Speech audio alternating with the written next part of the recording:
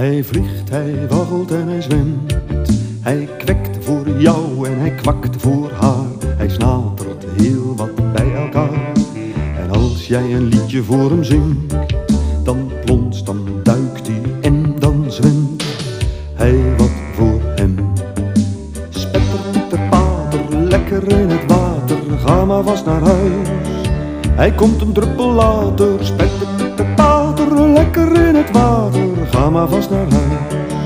Hij komt een druppel later.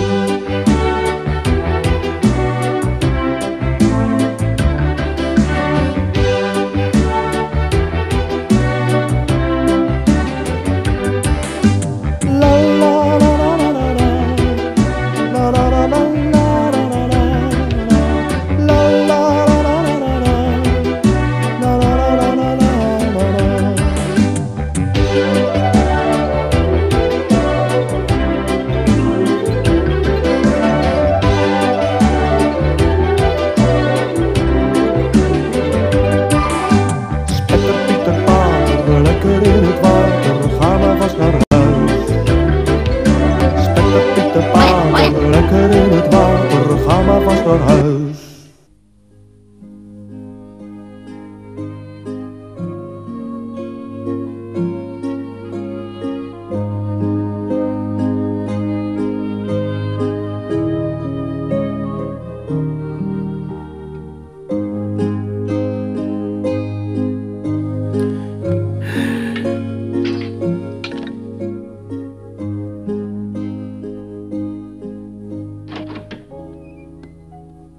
op, Alfred, wakker worden.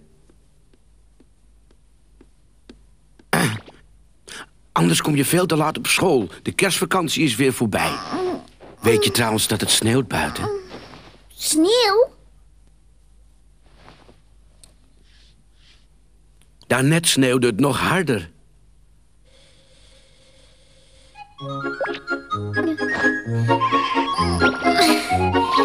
Deze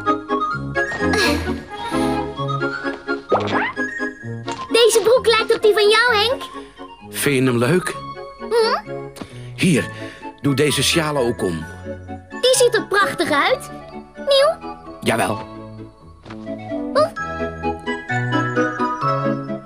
Picobello. En nu aan tafel, het ontbijt staat al klaar. Hé, hey, je pet! Oh, Een zoon die groter is dan zijn vader. Het is me wat. Kleiner is dan zijn zoon. Dat is me wat. Lach jij je vader uit? Hm, Ik moet nu gaan. Dag.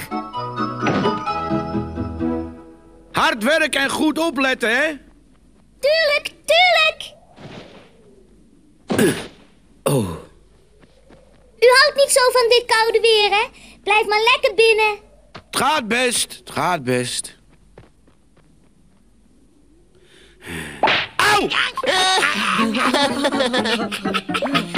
Ba?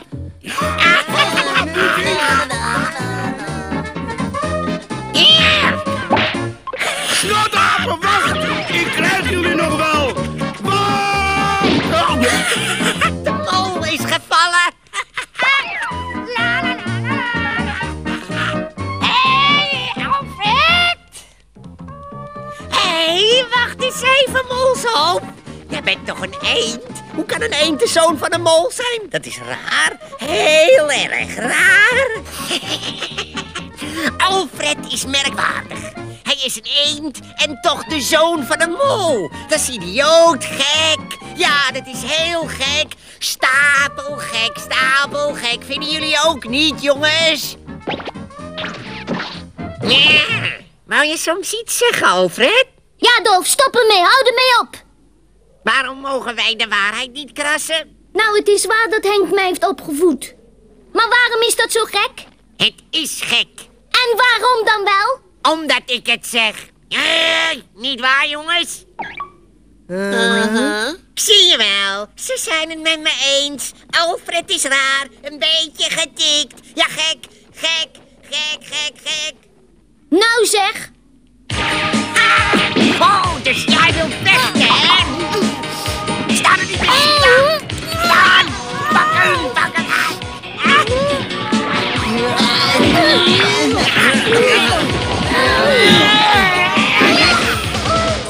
Dat zou je leren. Kom, we gaan.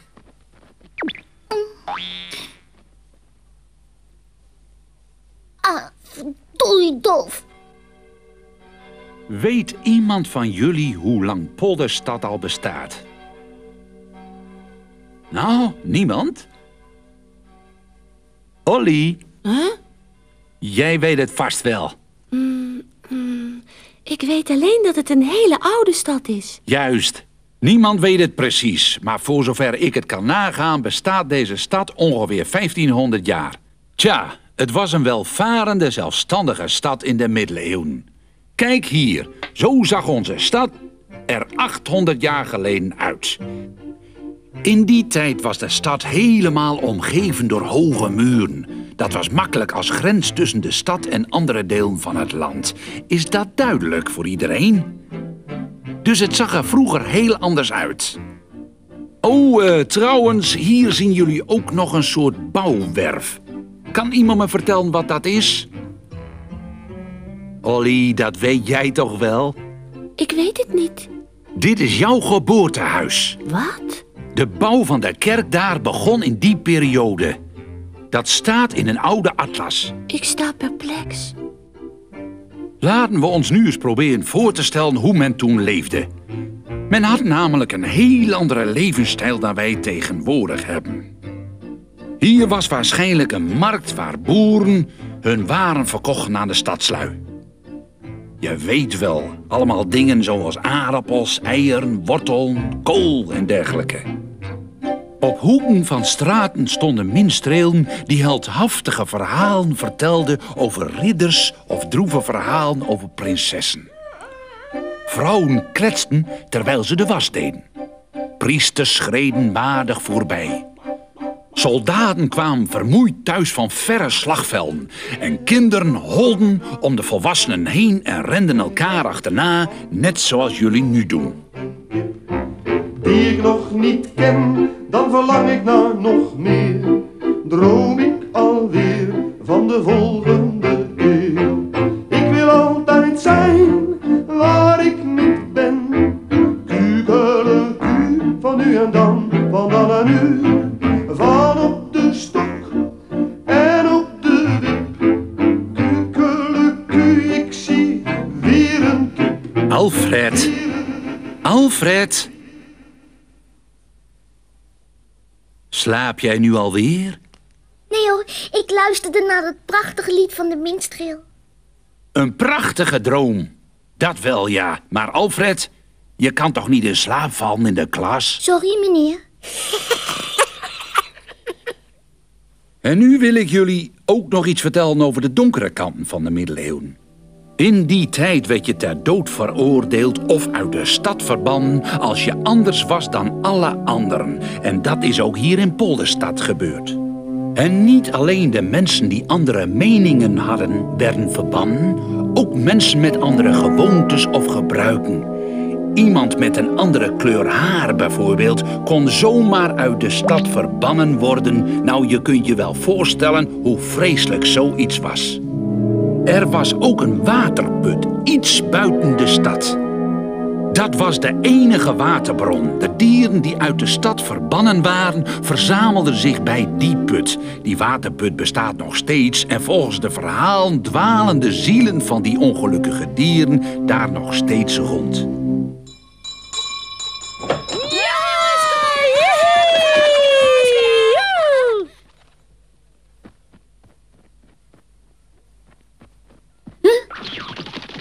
Dolf, stop!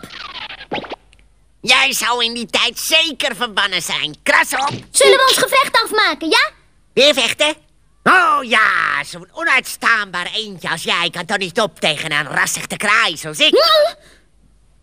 Ik pak je!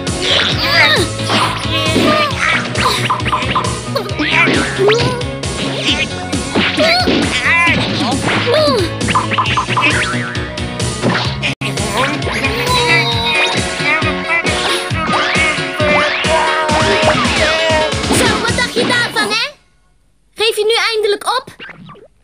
Vuile schooier. Ik krijg jou nog wel hoor, jij stomme, stomme, stomme molzoon. Wat is er mis met je snavel? Hij wordt opeens geel. Oh, nee. Schoensmeer? Jij hebt je snavel zwart geverfd met schoensmeer. Hè, Dolf?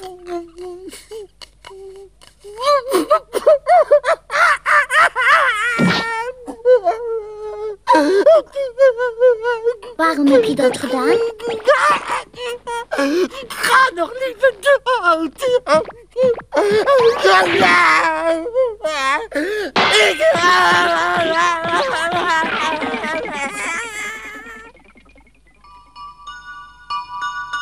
Een gele snavel?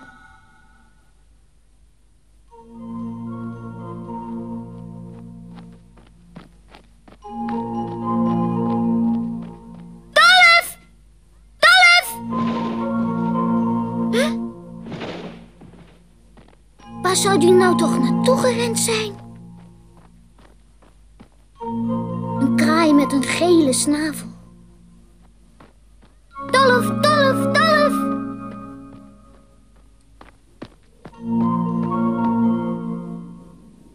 Voetsporen van een kat. En die zijn zeker niet van erg lang geleden. Ik hoop niet dat ze van die gemene krapnagelde kater zijn.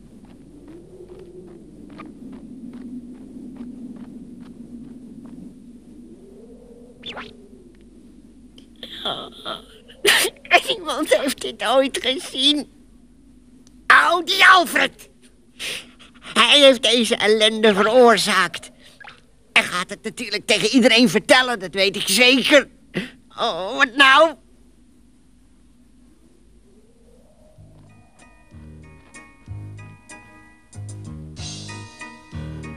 Dat moet die oude put zijn. Hé, hey, daar is iemand. Ik weet het. Voordat hij alles over mij kan vertellen, ga ik tegen iedereen zeggen dat hij een leugenaar is. Dat hij altijd liegt. Hé, hey, is dat Adolf? Ja, ik ga iedereen vertellen dat hij een eend is, maar net doet alsof hij de zoon van een mol is en dat hij liegt en dat ze hem niet moeten geloven. Het is Dolf, ik dacht het al. En dan zal niemand meer geloven wat hij zegt. Dat verdient hij. Ja. Dolf! Kijk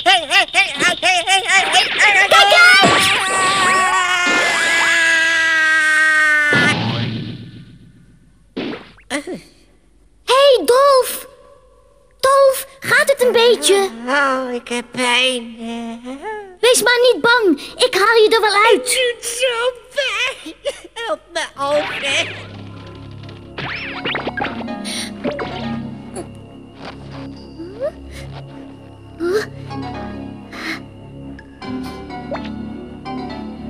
Pak het touw, Dolf. Dan kan ik je omhoog trekken. Hoor je me, Dolf? Het lukt niet, Alfred. Mijn vleugel doet vreselijk pijn. Ik kan het touw niet pakken. Wat is er gebeurd? Dat weet ik niet. Ik kan mijn rechtervleugel niet meer bewegen. Als je je vleugel niet meer kan gebruiken, waarom bind je het touw dan niet om je middel? Je linkervleugel is toch nog goed? Nee, nee, ik kan het niet alleen. Alfred, help me eruit. Alsjeblieft. Hou vol, dan kom ik wel naar beneden.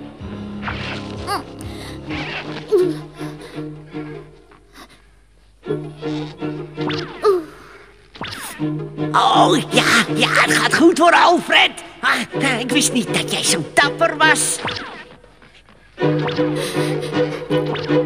Voorzichtig, Alfred. Ik zit recht onder je. Ja, pas op dat je niet op me valt. Oh, moordenaar. Sorry, ik kon het niet helpen, touw brak.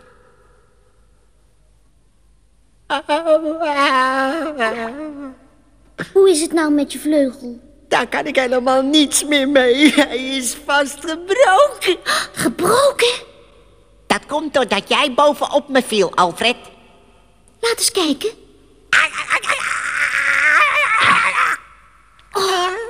Hij is krom. Ah, hou op, Alfred. Kijk, hij beweegt helemaal niet meer. Wat ga jij daaraan doen? Hij is helemaal stijf. Dat komt doordat jij zo ruw bent. Hou je maar rustig, Dolf. Dan zal ik jou een eerste hulpbehandeling geven.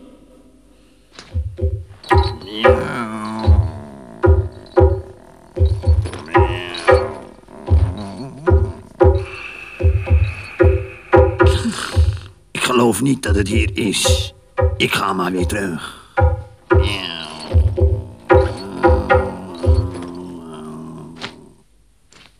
Zo, dat zit.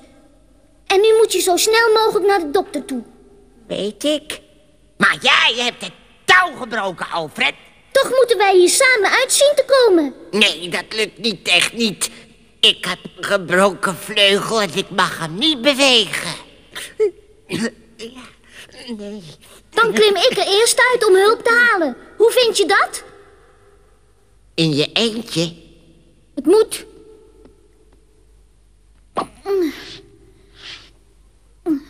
Het is de enige oplossing.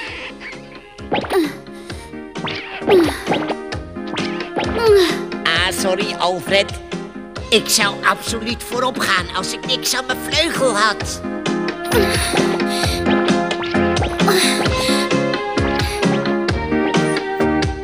Gauw iemand halen als je boven bent, hè? Alfred, ga je echt hulp halen? Alfred, Alfred, Alfred, waarom geef je me nou geen antwoord, Alfred? Omdat ik mijn energie wil sparen. Kunnen we niet beter wachten tot iemand ons vindt, want dit lukt je nooit. Je moet niet zo snel de moed opgeven.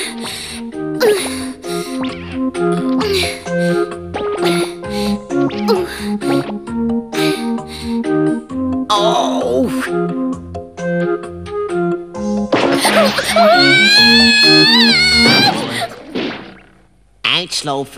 doe nou niet zo stom en stop ermee. Die muur is veel te hoog voor je, dat red je niet.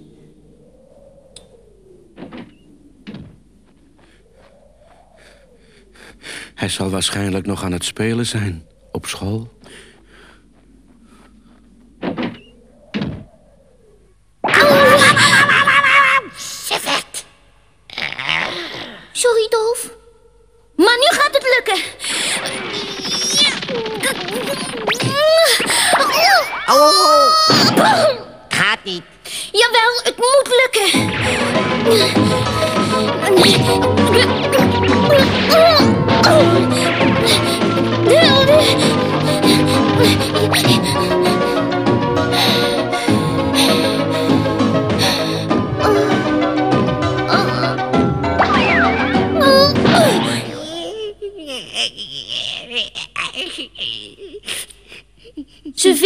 Wel, hoop ik. Ik heb het koud. Hier, alsjeblieft. Je gaat het zeker tegen iedereen zeggen. Wat bedoel je? Dat weet je best. Je gaat het natuurlijk lekker aan iedereen vertellen, hè? Dat ik een gele snavel heb. Waarom zou ik? Ik vind het best dat jij een gele snavel hebt. Mijn moeder was namelijk een merel en geen kraai. Maar ik eh, ben een echte kraai. Ja, dat wil ik. Ik wil een echte kraai zijn. Maar kijk eens naar mijn snavel. Mijn stomme snavel is geel. Het is toch niet zo'n probleem dat je een gele snavel hebt? Dat vind jij, Alfred? Jij bent niet goed, Snik. Als anderen erachter komen dat mijn snavel geel is, zullen ze me uitlachen. En roepen, kijk daar loopt een kraai met een gele snavel. Nou, dat denk ik niet, Dolf. Ik neem wraak. Ik zal me wreken op iedereen die me uitlacht of voor gek wil zetten. Ze zullen het weten, wacht maar eens. Ze zullen er allemaal spijt van krijgen. Ze zullen allemaal sidderen en beven van angst. Ik zal ooit de sterkste zijn. Ja, heel sterk worden. Ik moet sterk zijn. Rustig maar, Dolf. Ik zal de baas zijn en de wereld in mijn macht hebben. Rustig nou, Dolf. Kalm aan.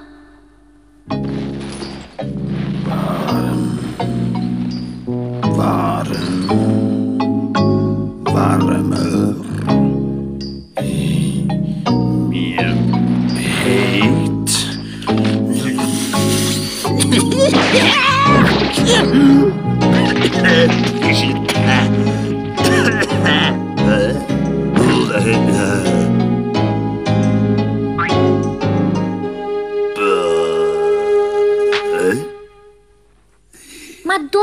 Waarom denk je nou dat iedereen je uit zal lachen omdat je een gele snavel hebt?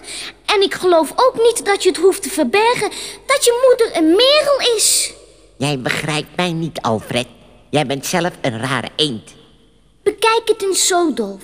Stop met het verbergen van je gele snavel en probeer vanaf nu aardig te zijn tegen iedereen. Zodat ze jou ook leuk gaan vinden. Nooit. Ik zou niet trots op mezelf zijn als ik dat soort dingen doe.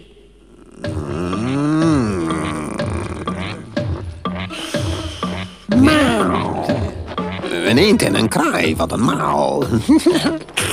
ik denk dat ik eerst die kraai opeet en dan die eend. Miauw, ik heb in tijden niet zoiets lekkers geroken.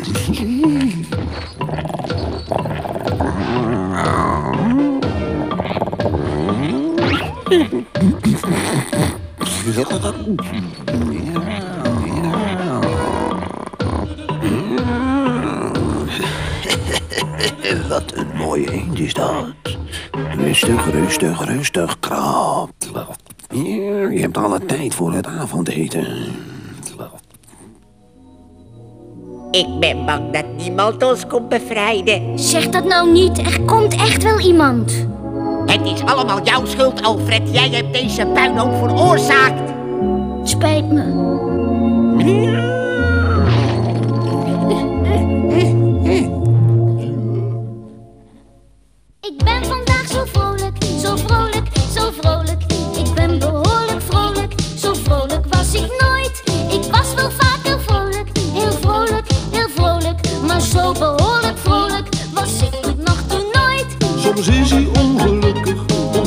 Ongelukkig. Soms is hij ongelukkig, dan sterft hij van verdriet. Vandaag ben ik zo vrolijk, zo vrolijk, zo vrolijk.